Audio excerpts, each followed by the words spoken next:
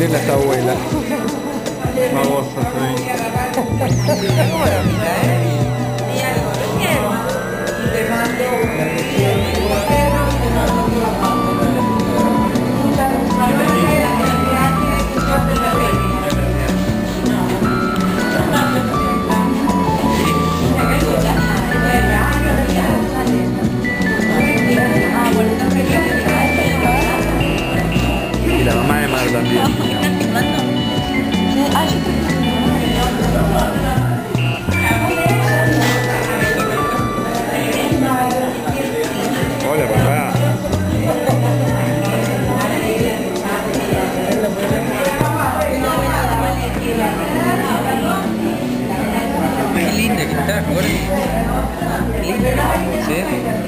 ¿Algo querés ahorita?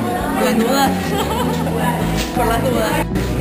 No me filmes, me da vergüenza.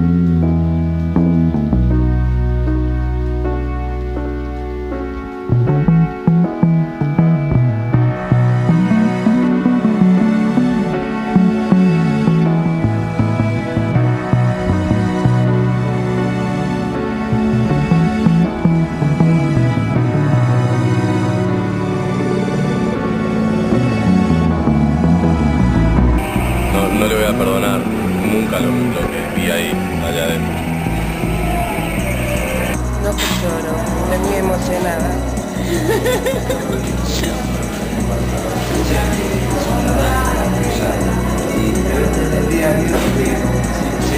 un poco de su vida en el mundo, digamos, viajando y cómo mueve la cabeza. Sí. A ver, ahora que me quedé en blanco. Y es bueno, para empezar de nuevo, como te pasa cuando empezás con una tela. No, bueno, ya estuve más o menos hablando así con, con varias personas, pero bueno, eh, este trabajo es, es el momento en el que perdí el miedo a tratar de gustar y tratar de hacer algo para conformar a los demás. Entonces conseguí ser honesto y mostrar eh, mostrarme a mí. Que creo que de eso se trata una obra de arte, ser honesto, porque si no ya hay mucha cosa hecha, cosa que se parece a otra cosa. Y bueno, estuve muchos años estudiando en Madrid, en el Museo del Prado, Velázquez, alucinado con la técnica clásica.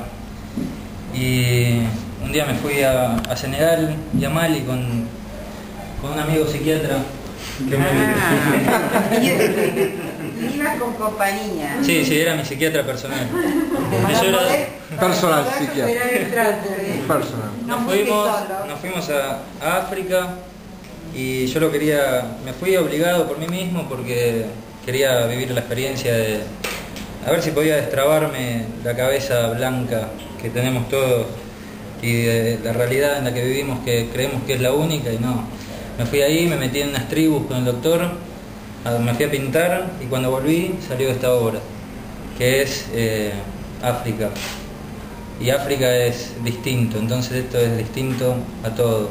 Pero después de 10 años de técnica de Velázquez, es como un... Todo esto resume mi obra, mis, mis estudios y mi, mi trabajo.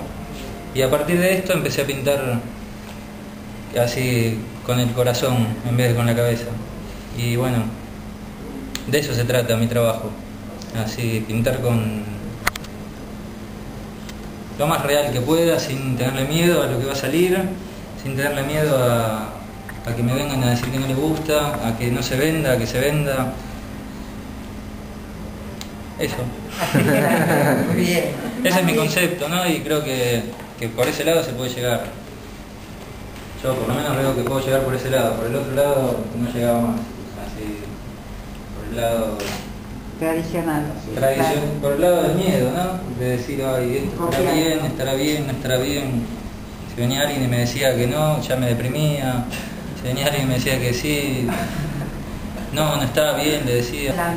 Bueno, me gusta, Riera. me gusta mucho ese, el hombre ilustrado, Sí, está muy logrado. porque, porque está hablando de él mismo. En el, en el círculo hay, un- está, hay un hombre tatuado, que es él, y él está hablando de sí mismo como hombre ilustrado. La verdad que no sé cómo es que conseguí que aparezca él hablando de sí mismo, pero estaba ahí y no estaba. Muy bien. Fue, fue mágico porque vi el hombre ahí arriba y, y enseguida vi la imagen de ese mismo hombre en el, en el periódico, con ojos de teléfono que ha suplantado la, la telepatía, de los- que no sé, toda la magia y la cultura egipcia. Es como un egipcio hoy en día con corbata y teléfono móvil. Ya no usan la telepatía y usan los teléfonos. Y tiene todos sus ojos así de teléfono móvil, va, teléfono celular, se dice acá. Eh, todos tienen ahí su, su ironía y su chiste. Algunos de los que están aquí, este de la cara esta, la- el nombre que les cuento no cuál es. Tiene tatuada a su mujer en, en las encías. Ah, bueno.